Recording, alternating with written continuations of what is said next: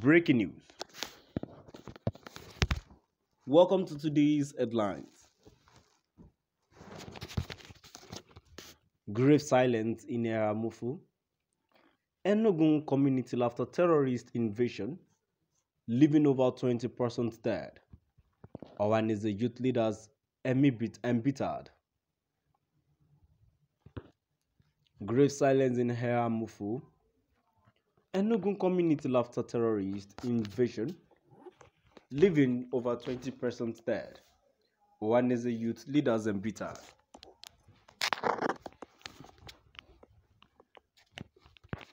To my dear listeners from wherever you're listening from, please stay tuned as I read today's news. The Apex Social Cultural Youth Organization of Ohanaeze Ndigbo Worldwide, Ohanaeze Youth Council, National President Comrade Igboayaka Ho, Igboayaka has expressed acrimony over the negligence of the governor of Enugu State, His Excellency Governor Ifeanyi Ugwuanyi, towards his advice on how to avert envisaged brutal killing of the citizens.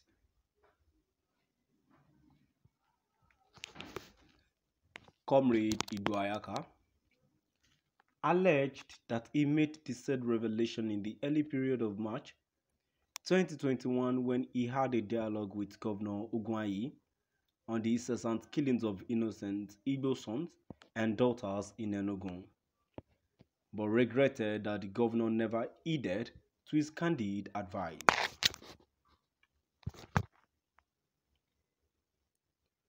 The embittered Igbo youth leader revealed that Eha-Amufu third missionary jihadist massacre could have been averted if Governor Ifeanyi Ugwuanyi had listened to the council's strategic council on how to save Enugu land from the dreaded Fulani herdsmen bandits and jihadists.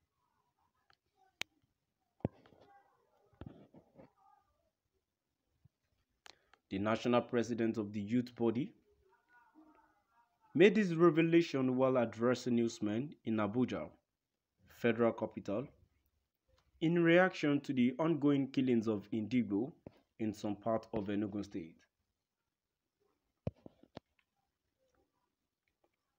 It is obvious that the state had, as at yesterday, recorded the loss of over 100 lives in the state consequent upon the later attack on the people by dreaded Fulani herdsmen, as houses were also set ablaze in the course of the attack.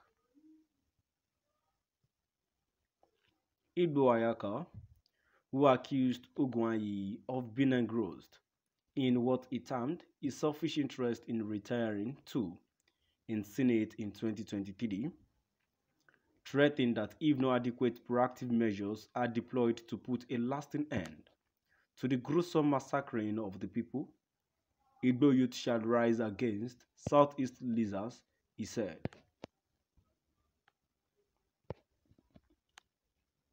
Furthermore, Igboayaka recounted that it was also the same thing Governor David Umahi of Ebonyi State did when I contacted him on the killings that were going on in Ebonyi.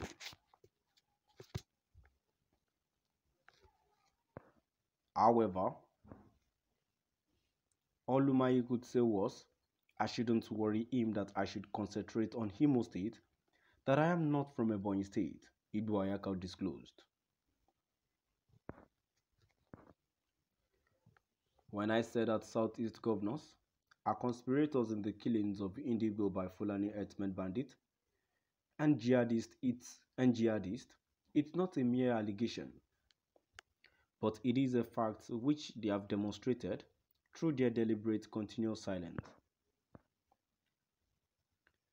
Continuing, Comrade Ibrahim outlined that one of the major responsibilities of a responsible government in Southeast is the protection of lives and property of Ndigbo.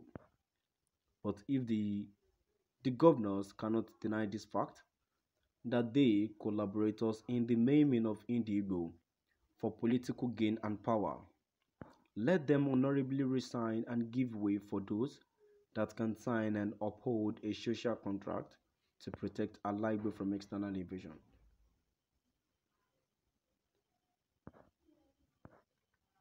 It is now obvious that we don't have leaders in Southeast.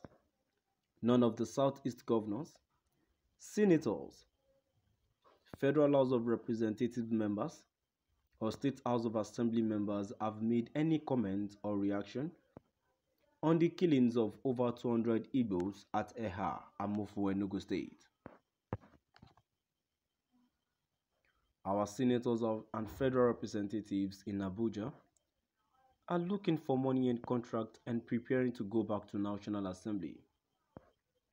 There is no gainsaying that governors, senators, reps members and ministers from Southeast extraction are soulless, human political element that have more esteem for their political positions more than the millions of lives of Ndigbo.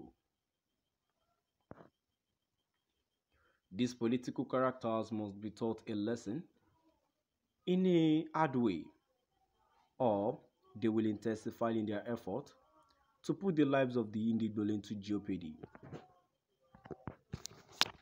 These wicked characters that attach titles of excellency.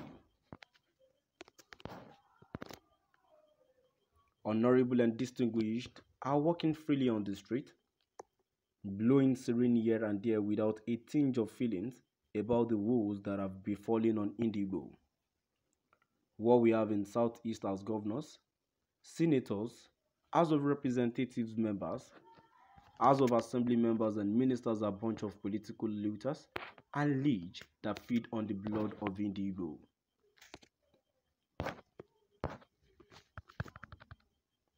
to my dear listeners now i've come to the end of our today's news please do drop by at the comment section and let's know what your view is